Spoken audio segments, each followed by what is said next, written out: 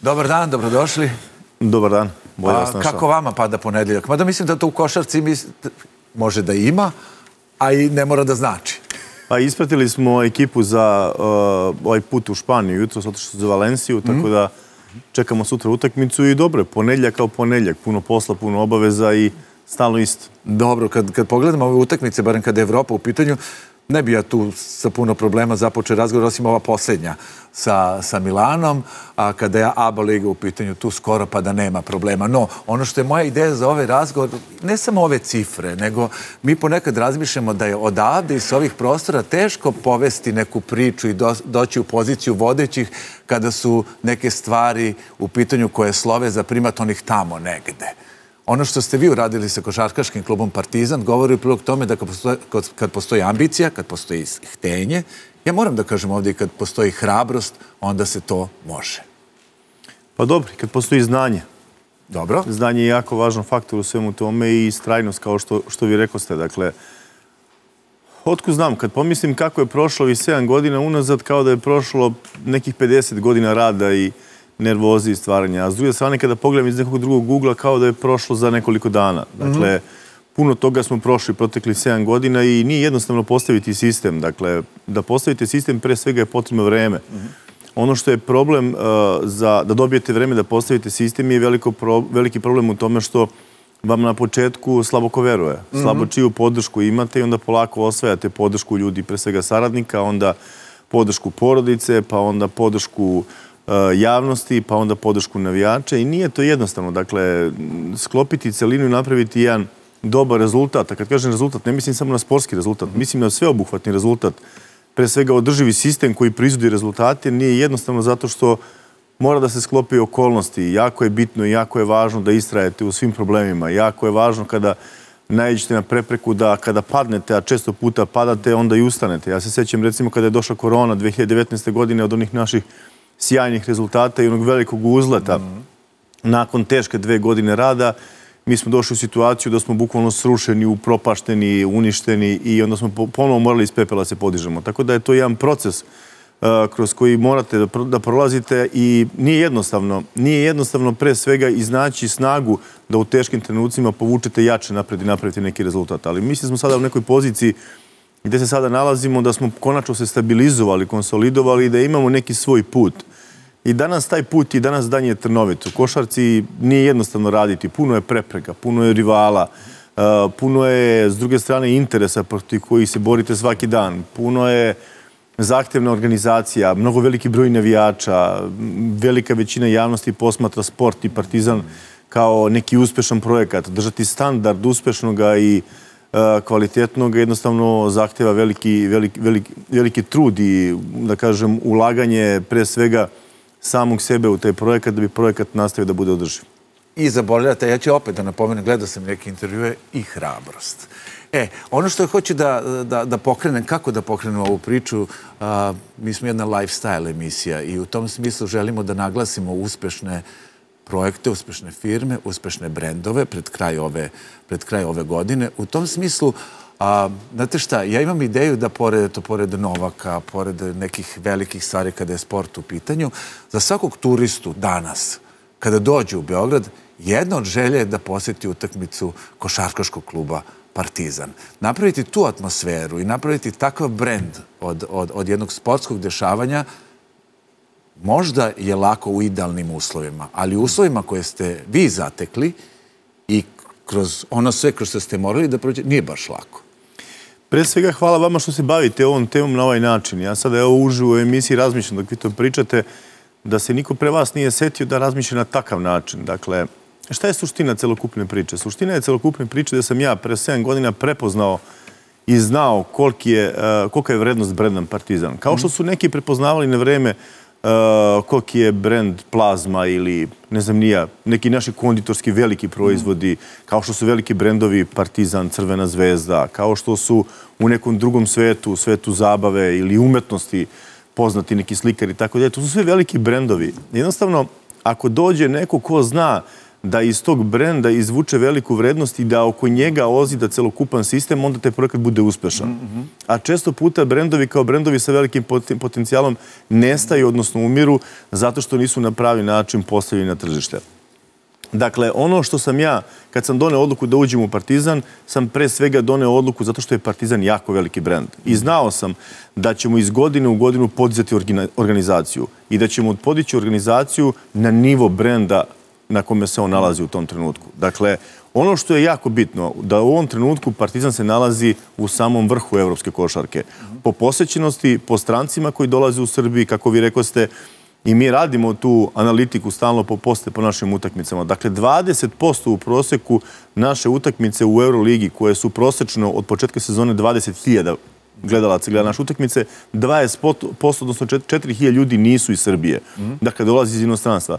Dakle, to je nedeljno, otprilike, E, dođe vam, kada Partizan igra u Beogradu, dođe vam 4000 turista na jednu utakmicu. Dakle, svako od tih turista turistički posjeti Srbiju, posjeti neke restorane, posjeti neke muzeje, posjeti neke stvari i prenose pozitivnu poruku o Srbiji. Vi ste vidjeli javne ličnosti, recimo, iz svih svetova i umetnosti, i sporta, i iz e, zabave, nije sad ni važno koje su to oblasti, kako pozitivno govore u Srbiji, odnosno u utakmicama Partizana. Amar Čarović bio neki dan ovdje, pa i on pričao. To je Ko je pričao? Amar Čarović, glumac. Da, on je naš, naš drugar, on je posljednji bio. Ti koji verujte mi, ja već sad dolazim na utakmice i već me iz, polako iznenađuju ljudi koji dolaze na naše utakmice. Pozitivno me naravno iznenađuju i svi su dobrodošli u arenu kada idemo, igramo utakmice i ABA lige i Euro lige, zato što to daje veličinu Partizana. Jer zamislite vi sada Partizan kao veliki brend, sve dobro organizacija, dobro su financije, sve to sjajno bez publike i bez tih ljudi. Ja mogu sad da pitam za publiku. To mi jako Izvolite, naravno. Oni, oni koji, koji baš primećuju to sve što se dešava na, na, u toj takvoj areni, ja bih to tako nazvao,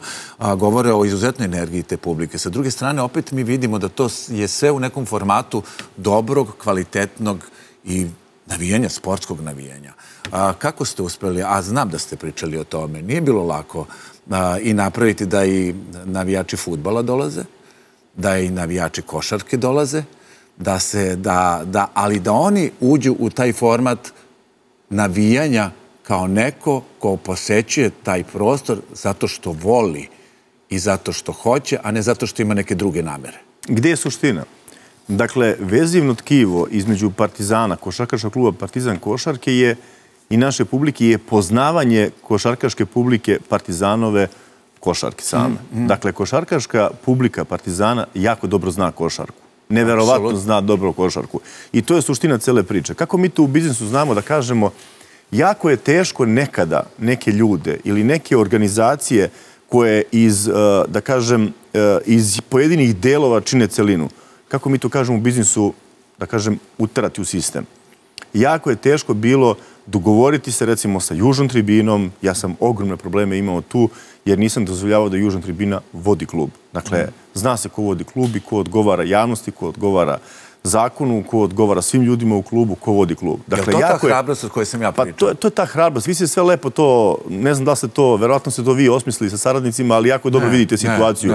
I, I super ste to Imam rekli. Imam saradnika, ali to sam ja nešto čitao. I sad ste vi meni to, sad ste vi meni probudili neke stvari koje su i možda bile uspavane u meni. Dakle, jako je bitno da sve te, sve te kockice slažete na, na, na pravo mjesto da bi dali jedan, jedan sveobuhvatni mozaik koji danas, eto kako vi kažete i kako kažu recimo svi u Evropi pozitivno komentarišu Partizan, jedan uspešni projekat. Absolutno. Koji u ovom trenutku treba negovati zato što je to postala jednostavno druga godina u Euroligi, postala tradicija. Vi ne znate koliko sam ja minuta i sati i konferens kolova i sastanaka po Špani i po razno raznim klubovima probavio prethodnih pet godina dok nismo ušli u Euroligu, moleći razno razne strukture da puste Partizan u Euroligu, da pokažemo kako izgleda naša organizacija, kako izgleda naša publika, kako izgleda to što, što ćemo mi da radimo u Euroligi i koju ćemo mi vrednost dati Euroligi. Jer ovo što smo mi uradili, 16.700 navijača je kupilo sezonske karte ove sezone. Dakle, 20.000 navijača prosečno gleda uh, Euroligu, 11.000 prosečno gleda ABA ligu. Dakle, prošle godine 550.000 ljudi je kupilo karte i ušlo u arenu u dva takmičenja. Dakle, to su nemoguće cifre za Evropu, to su nemoguće cifre za Ameriku. Ja sam pre neki dan greškom u jednoj emisiji, dakle, ja sam pogrešio cifru i rekao 97 miliona ljudi je na razno razne načine prošle godine vidjelo Partizan kroz televizije, kroz društvene mreže i tako dalje, po izveštaju Euroligije. Dakle, ne 97, nego 397 miliona ljudi je prošle sezone u 10 mjeseci, koliko traje jedna tehnička sezona, vidjelo Partizan na razno razne načine. Znate koja je to, koja je to promocija uh, za zemlju? Koja je to promocija za brend Partizana?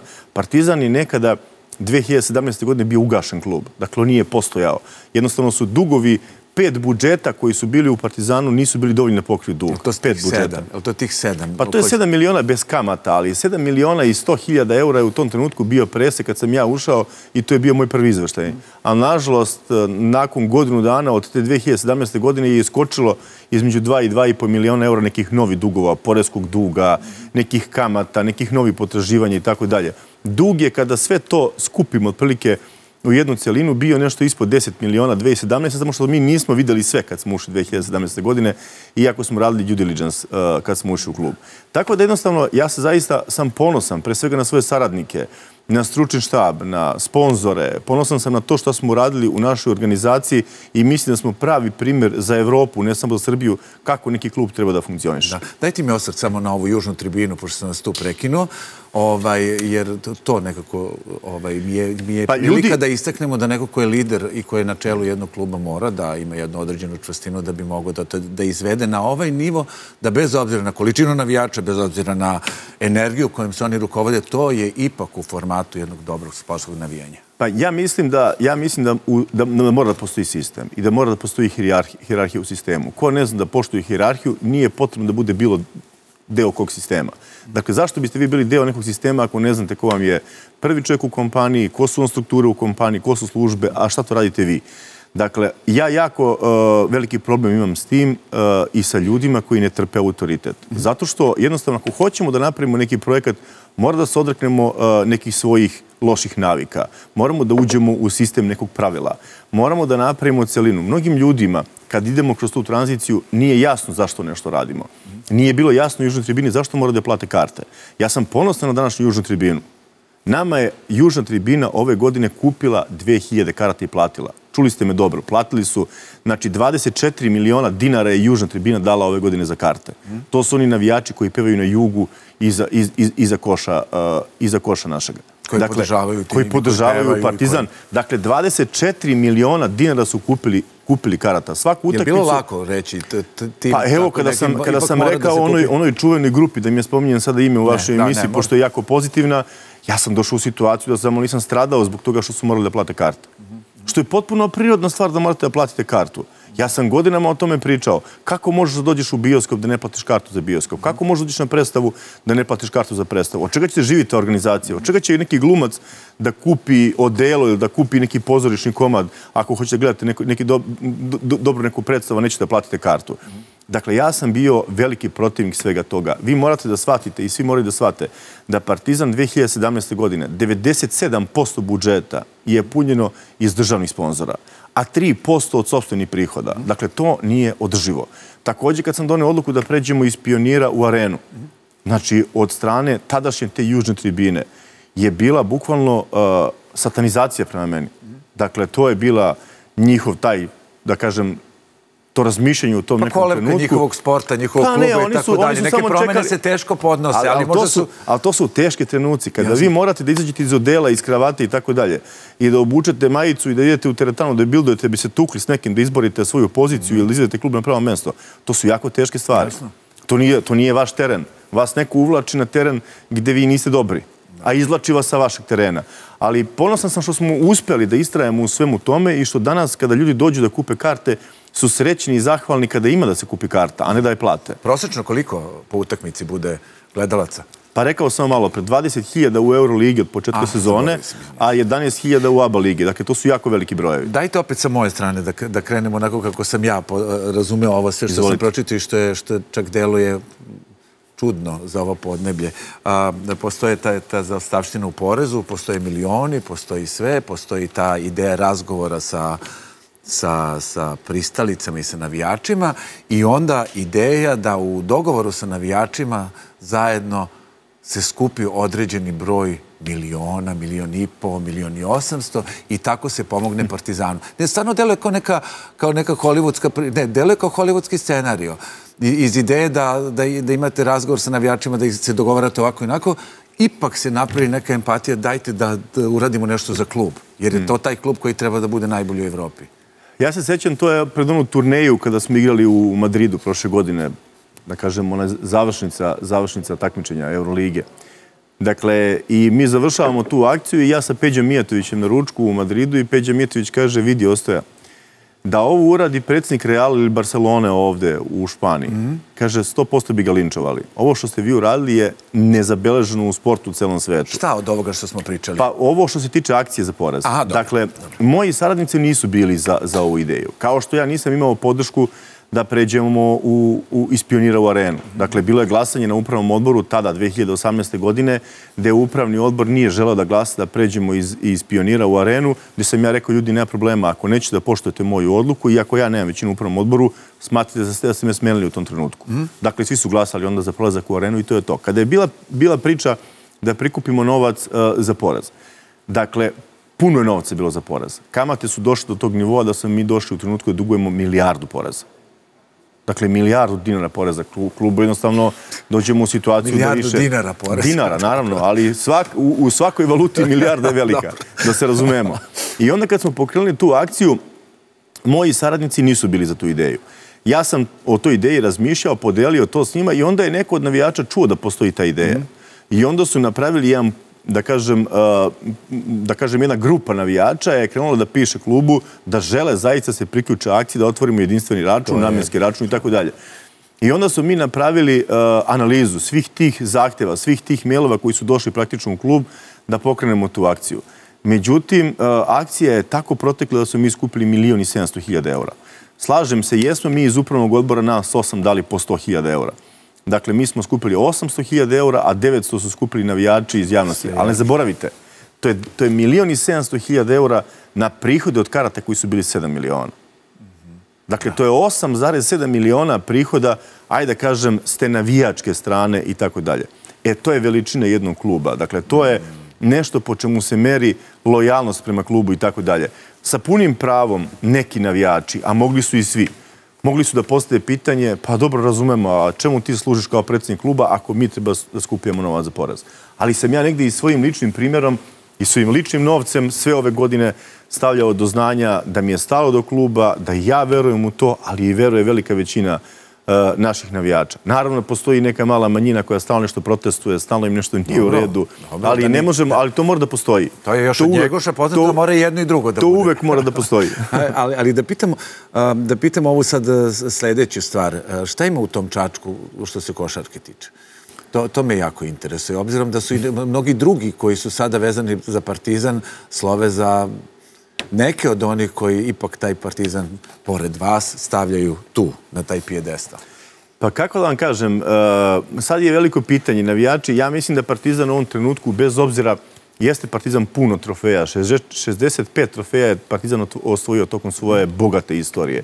I partizanova istorija je zaista bogata, duga, puno igrača, puno košarkaša, puno, da kažem, sportskih radnika je prošao kroz partizan i Partizan je zaista jedan veliki srpski sportski brend. Ali s druge strane, ovaj, nekako je vezan za Čačak. Od vremena Kićanovića, pa onda prvi put Obradovića, pa onda mog dolaska u Partizan, pa onda uh, povratak Obradovića, pa onda i Jace Matovića, pa i Avramovića, pa onda i Vlade Androvića, pa i Đolija koji je nekada bio u Partizanu.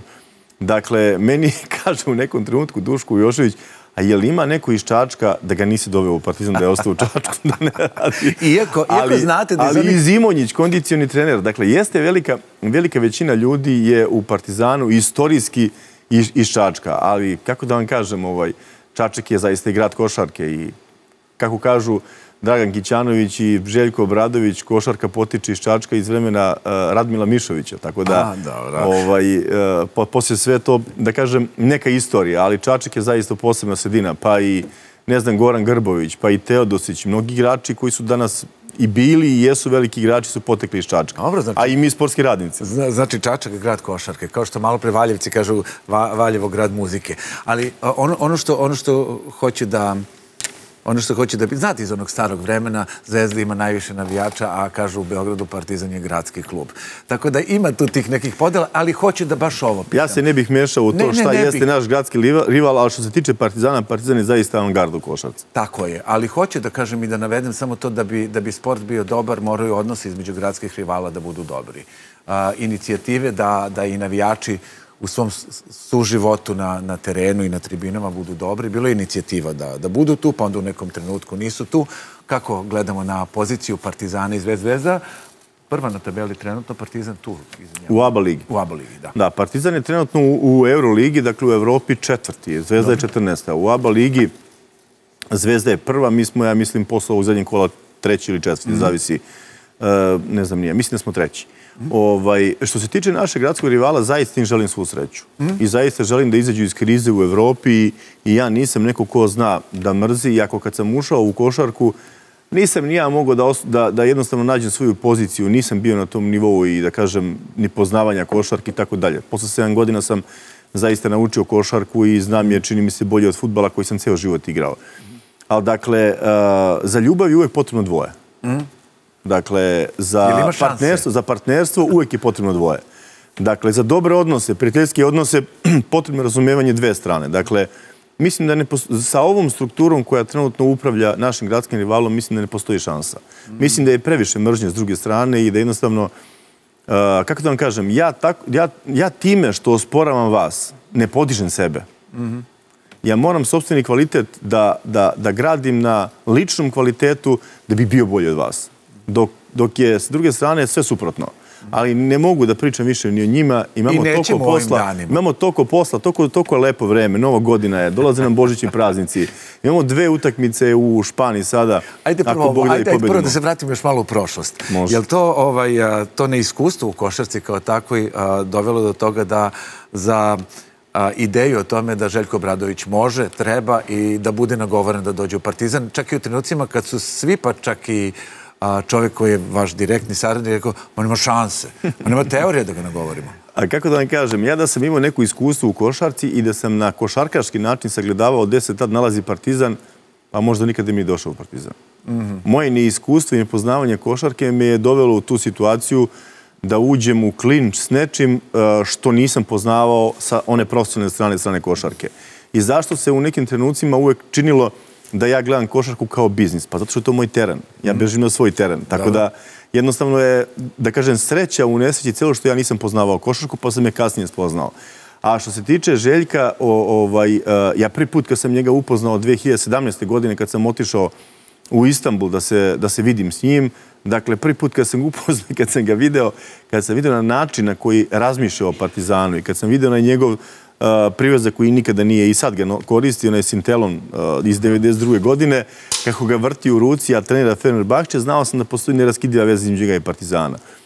I s druge strane to ubeđivanje ili da kažem njega ili da kažem taj posao koji je u ovoj novijoj istoriji jedan od najznačajnijih za Partizan, kao i finanska stabilizacija, kao i povratak navijača, kao i sve ostalo i povratak Željka Vradovića je također jedan od ključnih faktora i tako dalje. Mislim da će se o tome tek pričati za 10-15 godina. Dakle, ljudi u ovom trenutku u ovoj euforiji uh, Partizana, košarki i tako dalje nismo ni svesni kakav smo mi pomak napravili. Kako ste da ga kažem, ubedili? Pa ja mislim iskrenošću pre svega i uh, ostavio sam on je rekao u tom nekom svom prvom intervjuu, ja ovom čovjeku verujem. Dakle, mi kad smo razgovarali, pre svega smo razgovarali na, jednom, na jedan uh, fair i pošten način, u jednom fair i poštenom odnosu. Dakle, uh, on je bio svestan šta ja znam i bio je svestan šta ja mogu i bio je svestan koliko sam ja uporan. Dakle, meni možete da stavite armirani zid od dva metra, ja ću da, ako želim da prođem kroz njega, nećete me zaustaviti nikad u životu. Mogu ja da nestane, možda me nema, ali ću da prođem kroz njega. I on je bio siguran da ćemo da napravimo zajednički, zajedničko dobar projekat, jer je on uporan u svom poslu, ja sam uporan u svom poslu. I kad se spoji jedna celina, a s druge strane, Željko Obradović ima, i o tome sam htio da pričam pre neki dan u emisiji, ali nije mi se ukazala ajde, prilika, izvolite. evo kod, da, kod vas, Izvolite. pošto je takav format emisije. Izvolite. Dakle, veliki problem u klubovima u Evropi je što pojedini treneri se postave tako da su ceo sistem i da su ceo klub. Zato veoma često treneri, neću da ispominjem, velika većina njih su moji prijatelji. Budu smenjeni, sklonjeni iz klubova i tako dalje.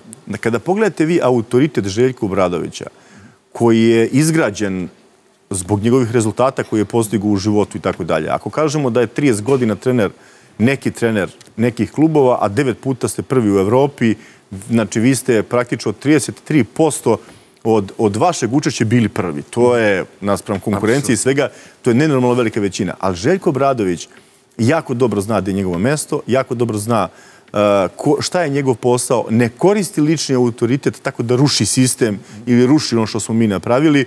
Željko Bradović izvadi novac iz svog džepa i kupi karte za svoga sina i svoju suprugu i svoju čerku. Bravo. Dakle, on kupi karte u prvom redu koje koštaju po 700-800 hiljada dinara, izvadi novac i kupi karte za svoje prijatelje. Tako da je to jedno poštovanje prema sistemu i ako nekada neki navijači u ranijem periodu nisu znali da poštuju svoj klub tako što će da skupe 50% vrednosti karte pa da klub može da živi, eto, s druge strane, Željko ne koristi lični autoritet i e, svoju veličinu košarkašku da ruši sistem u kome se nalazi, nego zna jednostavno gde je zona njegovog delovanja, zna uh, koje odluke on može donese sam, a zna se koje uh, odluke donosi klub. Tako da mi nemamo problem u toj piramidi organizacije, zna se ko je predsjednik, sve, sve se apsolutno zna, zato naš sistem i funkcioniše. Ne može klub biti jedan čovek. Dakle, ne mogu ja kao predsjednik kluba da uđem u slačionicu i kažem taj treba da igra. Ne mogu da uđem i kažem ta akcija je bolja. Ja to ne poznajem na način. Ja treba da, ja treba da prepoznam ko to zna da radi i da mu dam podršku, kao što sam dao podršku Zoranu Saviću, a zatim i Željko Bradoviću. I onda početkom sezone zacitamo ciljeve, ti ciljevi zna se koliko koštaju, oni su dužni da ispoštuju te ciljeve, a mi smo dužni da ispoštujemo da taj e, sistem funkcioniše sa financijama i organizacijom. I situacija je jednostavna i prosta, ali mora se pomiriti s tim da niste vi taj koji može da bude scout nekih igrača, da niste vi taj koji treba da uklapa šta je pick and pop, a šta je pick and roll i šta je low posta, kako se igra košarka. Šta god da ste mi rekli, ja vam verujem sada pick and pop. Ali da vas pitam, a iz ideje neću, neću, neću, neću, neću, kako se desila situacija, hoću. Pa mislim da je tu prevagnulo, da je, mislim da iz te ideje neću, neću, neću, mislim da je prevagnulo to što je Partizan uh, neko ko, ko, ko jeste i bio i bit će uvek u njegovom srcu. Dobro. To je s jedne strane, a s druge strane što je verovo organizaciju koju imamo mi. Dobro. Je li ono što mi vidimo u izlazu kada gledamo televiziju i kada gledamo partizanove mečeve, ipak kada izađe Željko Obradović, bez obzira na sve mlade naraštaje, bez obzira na sve zvezde koje su došle i novo pridošle, on najveća zvezda. Najveći partizanac, da se ne vriče. Kako da vam kažem, znači, navijači uvek, kao što su nekada na način kako su pozdravili i poštovali Duška Vojoševića, danas to čine i Željko Bradoviću. Naravno, tu je razlika, postoji uvek razlika i tako dalje. Vi ne zaboravite i Andreju Trinkjerija, koga su naši navijači izuzetno zavolali. I šta je bitno kod partizanove publike? Partizanova publika zna kome treba da daje podršku. Izuzetno zna da nagradi borbu i trud i zalaganje. Ali i da iskritikuje. Ali da iskritikuje. Mi smo svi zajedno, pa i Željko Obradović, proteklih mjeseci kada nisu bili rezultati, pretrpeli ozbiljne kritike, ali sa punim pravom. Mi nismo rekli, e pa super, ali igrači nisu odigrali svoje. Ali mi smo dali sve, nisu oni dali. Tu postoji kolektivna odgovornost. Dakle, ako postoji kolektivna pohvala za organizaciju, mora da postoji i kolektivna kritika koju moramo da prihvatimo svi mi zajedno. Ne može neko od nas biti aboliran ako lopta nije ušla u koš. I ako nisam ja šutirao s klupe, i ako nije šutirao Željko, nego je šutirao neki igrač koji nije pogodio u pravom trenutku i tako dalje. Ali, s druge strane, ovaj, uh, treba da postoji ta kritika. Kritika je nešto što nas gura napred. Znači, ja se ne ljutim nikada kada kritikuju. Ono što me, što me izuzetno nervira i što me boli i što mi moramo vremenom da prevaziđemo je da a, sklonimo taj deo navijača koji vređa. Vi ste imali situaciju da igrač u prvom redu vređa posle izgubljene utakmice, recimo Trifunović i da ga gađa sa nekim predmetom. Igrač je doživotno udaljen iz prvog reda iz arene. Dakle, takve stvari ćemo kažnjavati. Vi možete da kritikujete, imate pravo da kritikujete, kupili ste kartu, a da to bude na jedan fair i dostojanstven način. Nemate snage za to? Pa naravno da imamo. Imali smo za mnogo teže stvari, a neću imati za to. Dobro. Da onda pitam, ono što može da ide u prilog, pošto smo se poveli brojkama, brojke su uglavnom bitne za pred kraj godine, ali i ove priče koje nam sada govorite. Rekli ste u nekom intervju da kad bi Partizan, na osnovu ovoga koliko je popularan sad u Evropi, dobijao i od radiodifuznih sfera, televizijskih sistema i TV prava, novce kao neki drugi klubovi, tek tada bi bili u daleko većem plusu. Pa kako da vam kažem, absurd je i nije normalno da vi imate skoro 400 miliona pregleda tokom jedne sezone. Da dočekate 550.000 ljudi u areni koji kupe karte, da ste jedan od dva najgledanija i najpopularnija kluba u Evropi, a da od TV prava, što je suština finansiranja klubova u ovom trenutku u celom svetu, mi nemamo niti jedan eurocent. Zero. Dakle, zero. Tako je. I to je veliki problem, a isključivo posljedica toga je jer nismo stalna to? članica Kome- kome pare? Pa idu stalne članice Euroligije da između sebe. Takav je, takav je, Znači, ide, takav ide, je parti, ugovor. ide Partizanova utakmica, svi gledaju zbog Partizana, a pare idu nekim drugim. Pa idu vlasnicima Eurolige. Dakle, to jeste veliki hendikep ne samo Partizana, nego i Crvene zvezde. I zato je E, permanentna podrška države da se taj deo nadomesti i sve ove godine, što zaista svi meni kritikuju kao, a što uvek hvala državi? Pa zato što ne bi imali ovaj nivo kvaliteta, zato što nemamo ta TV prava i država stalno mora da do- da dotira neki novac. A, ovaj, možemo da dobijemo to te, taj novac od tih te Pa prava. moramo da uđemo u stalne partnerstvo Euroligi da bi dobili taj novac. Pa moramo se borimo za to, kao što se borili neki drugi klubovi. Mi nemamo kontinuitet. Mi smo imali kontinuitet 15 godina prethodnih, pa smo napravili pauzu 8 godina, pa sada pravimo ozbiljne rezultate i ozbiljan trag uh, ove prethodne dve godine. Jednostavno, kako da vam kažem, ako, imate čet, ako ste najpopularniji u Evropi, a od vaše popularnosti TV pravo uzimaju neki drugi klubovi i finansiraju sebe. Pa to negde nije, nije, nije, nije, ni fair. Nije ni fair, nije pošteno. Nije ni fair play. A Pa nije ni fair play. fair play. Pa tako je. Vi igrače morate da platite. Vi danas je putovanje u Valenciju, pa, znači nama je jutros otišao čarter koji je odvezo putnike i ekipu u Valenciju.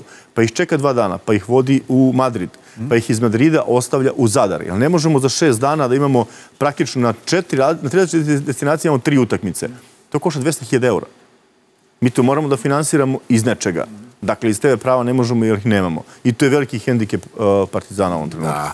A, Kada pričamo o tome i kada pričamo o ekipi Partizana, a, kao, kao pojačanje Partizana a, ove godine a, su ljudi koji su i iz NBA lige, pa onda ljudi iz Nemačke, iz Nemačke lige koji su osvojili Bundesligu, pa su onda iz Grčke, pa iz Minhena.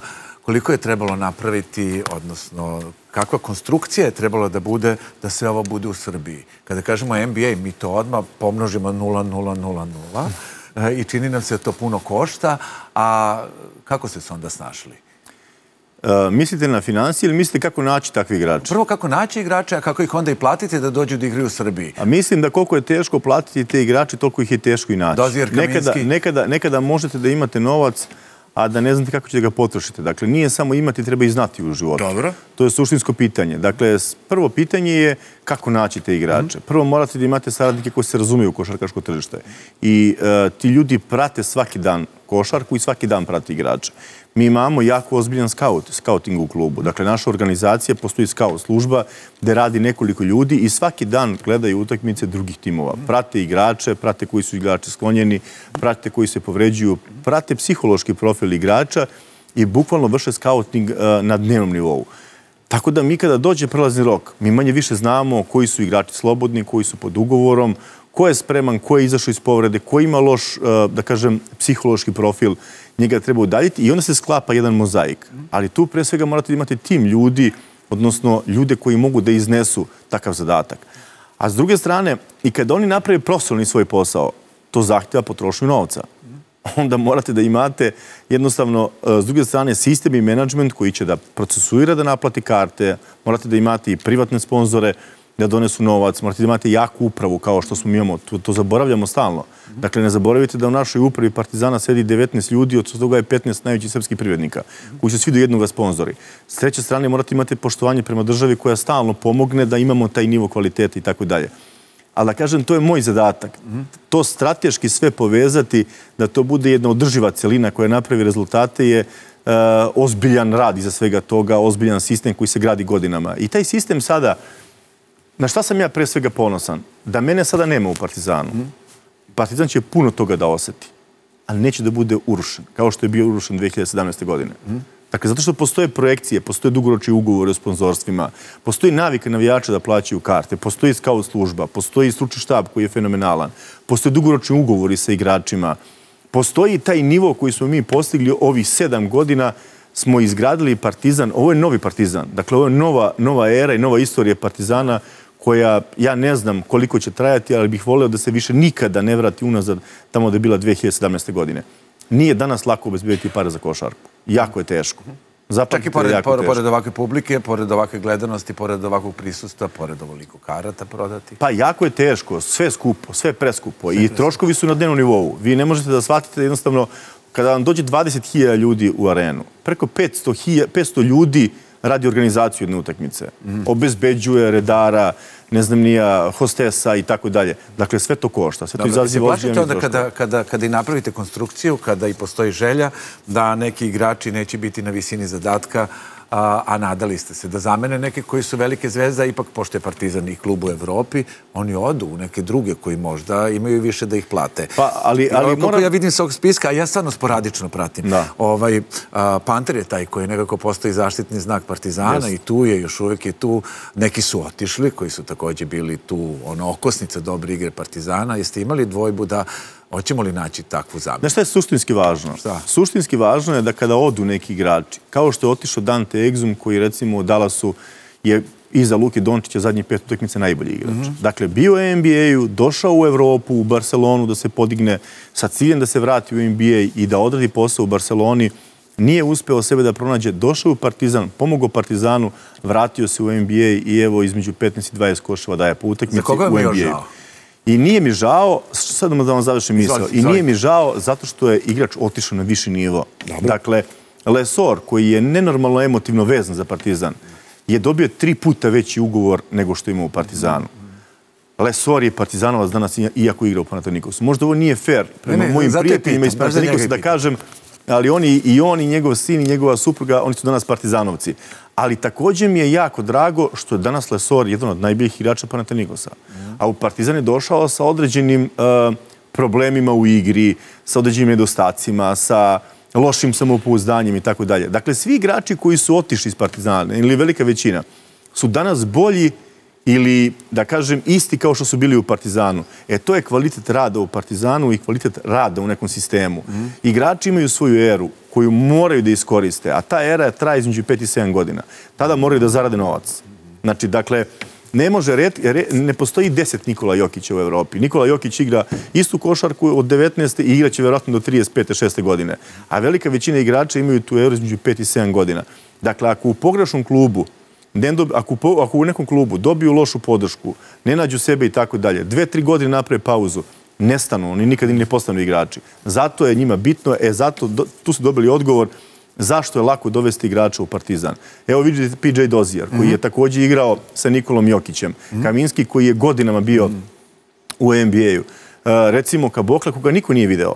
Dakle, ja neću da kažem koji klub u Srbiji je imao Kabokla prošle godine pre Nemačke da dovede Kabokla za mali novac, ali nije verovo u njega i rekao je da to nije igrač kvalitetan.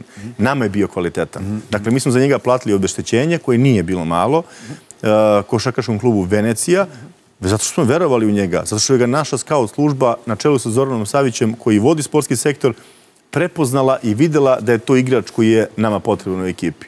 Da. I, uh, ajmo malo sad. Ka, kaže, uh, kaže futbaleri, u stvari, Matejić kaže, pa ću ja to da prebacim na košarku.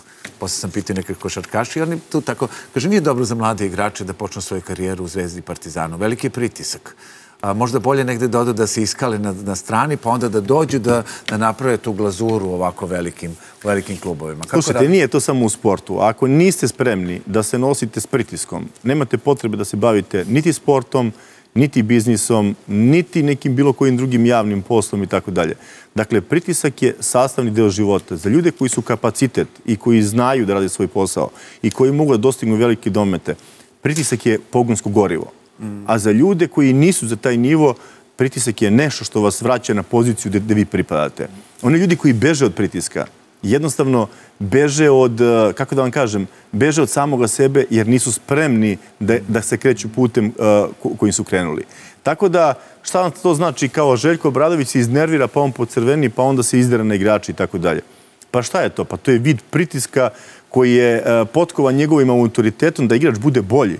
Zar neko misli da neko nekoga vređa kad kažem vređa, ne mislim bu, bukvalno vređa, nego pozitivno mislim vređa, da mu kaže nešto nisi dobro uradio i to je onda vid pritiska. Ne mislim samo na trenera, mislim i na pritisak navijača, uh, velikog ali, imena kluba. Ali tu, ali, tu, ali tu igrači postaju veliki. Pa zašto je Partizan, zašto je u Partizanu igrao Vlade Divac, zašto je igrao Paspaj, zašto je igrao Rebrača, zašto je igrao Pavlović, ne znam, nisam važno, Kecman, i mogu da ih nabrajam do 15 minuta narednih. Pa zato što su ti igrači su se izborili s pritiskom. Pa Bogdan Bogdanović je, Bogdan Bogdanović uh, trenutno igra najbolju sezonu u NBA-u. Jer se on nosio sa pritiskom Partizana i Partizanovih navijača i Duško Vujoševića koji ga je uh, trenirao način trenira. Pa zašto, se, zašto si izborio? Pa zato što je kvalitetan i što može trpi taj pritisak. Ali ne samo zbog Oni toga, slušao sam intervju. Slušao sam intervju, baš mm -hmm. uh, prekoče sam pogledao taj neki intervju. Ja mislim trener ili neko iz stručnog staba njegovog kluba kada su pitali zašto on igra tako dobro. Kaže, znate šta, tamo u Srbiji, sad da ne glorifikujem ovu situaciju, kaže, oni ne igraju samo košarku njih nauče kako se igra košarka. I to je razlika između, između tih nekih uspešnih srpskih košarkaša u Americi u odnosu na američke košarkaše. A nije samo to, ima tu još jedna Tako stvar. Tako je rekao, ima, ja tu, ima tu još jedna stvar koju možda javnost i odnosno vi ne primećujete. Dakle, koliko je srpskih igrača iz kojih klubova otišlo recimo u Ameriku? Ako kažemo da je Amerika sam uh, uspeh u životu da igrač zaigra u NBA-u, što jeste zapravo, oni su broj jedan sigurno u svetu, to je nacionalna košarka u jednoj velikoj zemlji koja ulaže puno novca u košarku i tako dalje. Koliko igrača ostavilo trag u NBA-u i koliko igrača uspjelo u NBA-u? Svi jure neke brojeve koji su super dobri za marketing. A da li su dobri uh, za, stvarni, za, za stvarnu statistiku koliko neki igrač može da uspe u Americi? Ja vam ponavljam, Dante Exum je otišao iz Partizana, kao neko ko je odmah napravio rezultat tamo. A koliko imate igrače koji su otišli iz Mege, od 13 igrača koji su otišli, trojica su uspeli. Dakle, suština je, suština je da nema, doći ćete uvek u, situ, u trenutak u životu kada morate sebe da oprobate u nekom pritisku. Mislite da je meni bilo lako sedem preko, preko puta deset nekih navijača, ja sam znao ko su oni čime se bave u velikoj meri. I da sedim da kažem, ovo je partizan, ja sam predsjednik, ja se ovdje pitam. Pa to pritisak. Pa ne bih ja da ulazim u vaše cipele tog trenutka. A, Janka, ali, ali, ali to je pritisak, ali to je pritisak da vi ostvarite svoj cilj. Pritisak morate da kontrolište, morate se nositi s njim. Jasno. A, I evo, ostalo mi još minut, dva, pošto smo i kasnili, a i hvala vam puno što ste nas sačekali. Hoću samo da pitam, a, posle reprezentacije, Avramović je postao nezavisno od svih NBA igrača, najveća zvezda ovih prostora i ne samo kao neko ko je donao pobedu u reprezentaciji, nego kao neko ko je kvalifikovan kao izuzetan sportista i izuzetan čovek. I veliki vernik. I, ve, I veliki vernik. U tom smislu i mislim na duhovnost tog i takvog čovjeka. Nema baš sreće sa povredama. I, ove, ali da pitam koliko je to značilo i Partizanu, a sa druge strane kakva, Kako gledate njegove povrede sada? Aleksa, Aleksa je pre svega divan momak i mm. također još jedan čačanin, što mi je posebno milo. Aleksa je neposledan momak. Mm. Dakle, Aleksa je svoj i on ima uh, svoj način rada i svoj način funkcionisanja. Ako znate cilj da funkcionišete, izvućite iz njega maksimum kao što je Partizan iz njega izvukao maksimum. S druge strane, niko na povrede ne može da utiče. Dakle, ovo što se desilo Aleksa Vramoviću, da on igra sa slomljenim nosom, pa onda u, u sljedećoj utakmici polomi nogu, Dakle, kako da vam kažem, nažalost, takve stvari se dešavaju. Ali ja mislim da u interesu pre svega Aleksinog zdravlja i Aleksine porodice, koja je zaista divna, i partizana samoga, a i srpske javnosti, pošto on sad značajan faktor na Absolutno. sportskoj sceni, je jako važno da se Aleksa oporavi da u budući ima malo više sreće sa tim povredama. Ali mislim da uh, znamo, dakle, potiču, da kažem, neke povrede je zadobio usled udaraca, a neke usled prevelike želje da klubu, odnosno Partizanu, puno da, da vrati navijačima i onda ide preko granice svoga maksimuma i ulazi u porede i e, rizikuje lično zdravlje. Kad mislite da se vraća na teren? Pa mislim da će početi trena za novu godinu, što je jako, jako, jako važno za klub. Dobro, i posljednje pitanje u smislu onoga što da zaokružimo ovaj deo, ima još toga, ali prosto nadam se da ćemo se sresti još nekada ovde u studiju.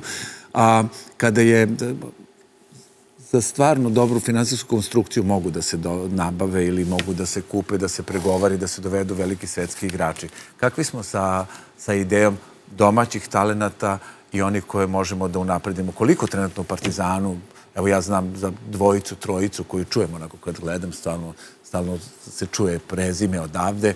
Koliko možemo da radimo na tome da imamo što više naših talenata i naših igrača u kontekstu jednog uspešnog evropskog kluba? Ja mogu da kažem da košarka ono što je nekada bila i ono što danas, to su dva različita sporta. Dakle, u vreme Kićanovića se igralo 30-35 utakmica za jednu sezonu, danas igra 100 utakmica u toku jedne sezone. Dakle, to je tri puta više. Mi treba da budemo realni šta možemo, a šta ne možemo. Ne možete u istom trenutku da jurite trofeje i da jurite poziciju na tabeli i da trpite razvoj domaćih igrača. Možete.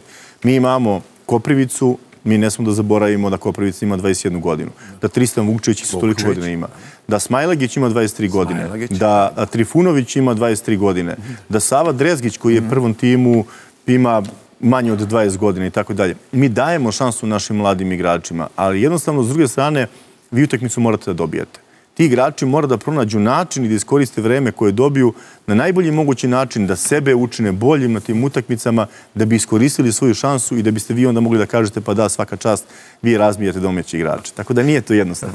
Šta biste sebi poželili u 2024. Mada sam, ovaj, zato smo i dobili neku ideju i hvala Filipu što vas je kontaktirao. Ovaj, Hvala vama na pozivu, svakako bilo mi zadovoljstvo, a sebi bih poželeo bar još dva dana više odmora nego što imam, tako da... da i, Et, zdravlje pre svega svima, svima i vama ovde i svima nama i pre svega nam je potrebno da imamo što više trenutaka kojima se radujemo i koji nas čine zadovoljnima i srećnima, tako ćemo i duže živjeti, bit ćemo i lepši i mlađi. E, a, pa, ja, ja bih to podeo pod pesmu Južnjaci. Mi smo Južnjaci, Zdravko Čolić, on isto najbolji. Mi imamo Zdravka Čolića za klavijaturama. Ako vam bude bilo potrebno neko da svira tamo ga, i Gaga da lupa, o, te, a Griša, te Griša zveždas, ali pričat ćemo i sa njim, ne bili možda došao tu da nešto odsvira. Tu... Važno da Griša vrši svoju funkciju, a šta je zvezdaš pa to je manje tako važno. Je, tako je. A, hvala vam puno na današnjem gostovanju emisiji. Želim vam puno sreće, uspeha, znanja i hrabrosti. Hvala, da ste živi zdravi.